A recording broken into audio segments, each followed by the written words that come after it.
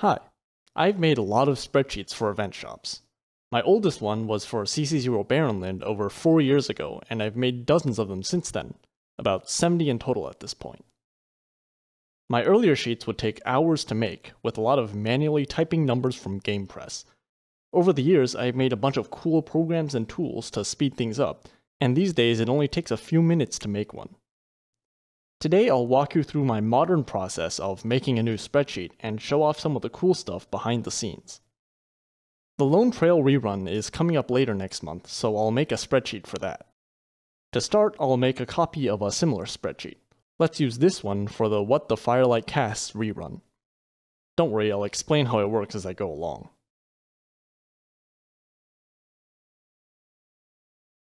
I use the Chinese PRTS wiki for future event data, and if we scroll down, this event shop has a similar format to what the Firelight casts.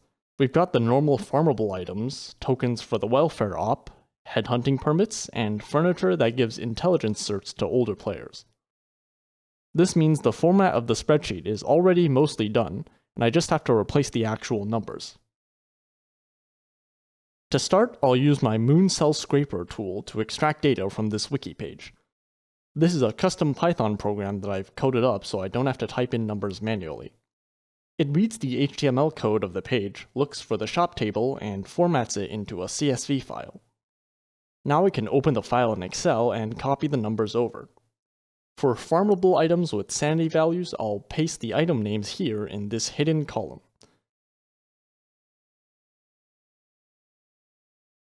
Shop prices and other numbers go to the left over here.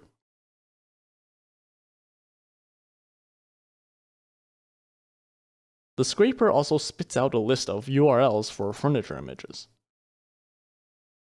These get pasted over here, and the spreadsheet renders them in the table.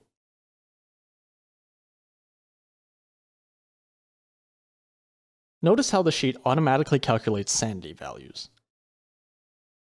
If I copy the item names over to this column, it also starts showing the icons and some shortened versions of all the item names that can fit into the table cells. The wiki doesn't do sanity value calculations, so you may be wondering how the spreadsheet can do this. All this data is stored in this hidden tab of the spreadsheet. The main tab uses the VLOOKUP function to search through these two tables and find the right values. For example, for bipolar nanoflakes, it'll look down the left column for the item name, find that they're worth about 241 sanity, and put that value up here. The efficiency is then calculated by dividing the sanity value by how much it costs in the shop. The table on the right holds URLs for the icon images and what I call short names, shortened versions and abbreviations of item names that I've manually set to make sure they fit in the cells. The main tab uses more VLOOKUP functions to display these in the table. So now you may be wondering, where did these lookup tables come from? If I click into these cells, we see a pair of import range functions. These import data from two other spreadsheets that I've created, which I call interface spreadsheets. These days, all of my spreadsheets pull data from these two files, and when I make a copy of a shop spreadsheet, it's already linked to the interface sheets. These interface spreadsheets exist so that I can manage the data for all of my sheets in one place, which saves a lot of time when I need to update something.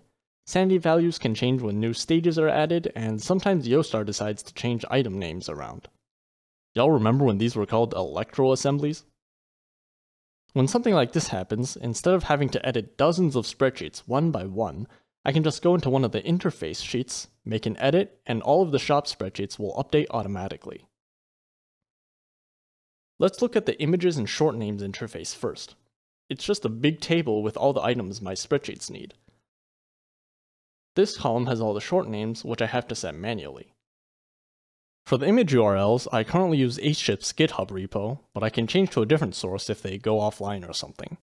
I just have to edit this cell, and it looks in the spreadsheet tab with the same name for the URL. For example, here's how I can swap to using the new GamePress site for green EXP cards. And now all of my shot spreadsheets will use the new image but it's got some weird transparency issues, so let's change it back. Now let's look at the sanity values interface sheet. It's another big table, but with sanity values instead. Most of these numbers are pulled from Moe's farming spreadsheet with more import range functions.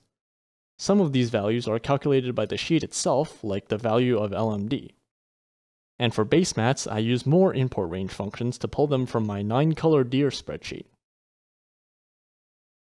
This backup tab has hard-coded numbers that don't depend on import range functions. So if something happens to Moe's spreadsheet, for example, the main tab will automatically switch to the backup numbers, and my shop spreadsheets won't all break at once.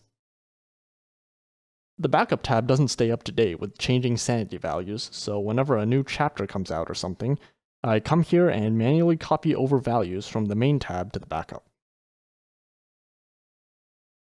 Now that we know where the lookup tables come from, let's go back to the new sheet I'm making.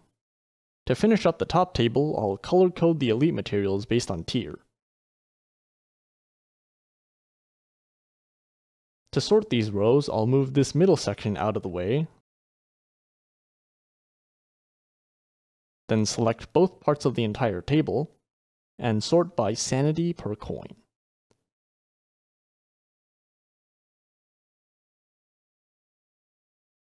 And now I can move the middle section back. Now I'll change out puzzles tokens for silence alters.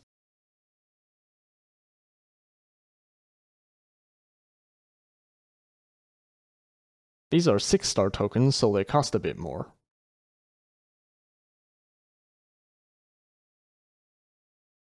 And I'll use the image URL from the wiki for the icon.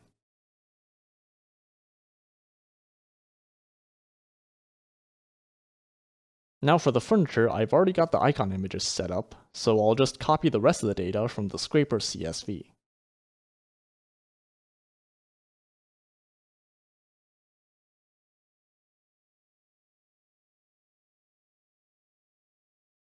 For the intelligent certs, I have to manually look at the wiki page and type them in. And now we can sort this table by certs per coin.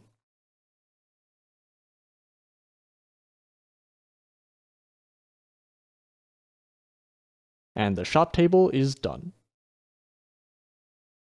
So this is what goes into each shop spreadsheet I make. It's a pretty fast and painless process that I've slowly developed over almost 5 years of playing Arknights. It's not perfect, and there are some places that I could improve, like how I still have to manually add colors and icons to some of the cells. But these tools still save me tons of time compared to typing in item names and numbers one by one. There's more cool stuff that I haven't shown, like how the final video gets made, or how I calculate stage efficiencies with a different Python tool. But this is mostly important stuff for the spreadsheet itself. This Lone Trail spreadsheet should be linked below in the description if you want to take an early look at it. As usual, I'll have a video up when the event actually starts next month. But for now, click the buttons below that make my numbers go up, and I'll see you in the next video.